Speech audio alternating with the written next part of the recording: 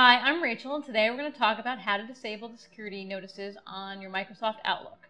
Why we might want to do that is because the security notices will be popping up, and most people find them irritating and annoying, and you kind of get it. So, what we're going to do now is we're going to go into Outlook right now, and I'm going to go into Tools, and I'm going to go down to Macro, and under Macro, there is the word security, dot, dot, dot. We're going to click on that. And here we go, and I can go to all the way down to low, which they don't recommend.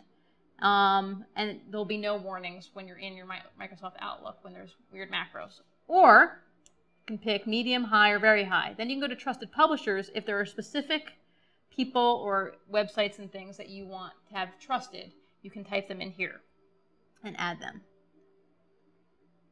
So I can view this, I can remove it, I can remove certain ones that are trusted or not trusted and then I can hit OK.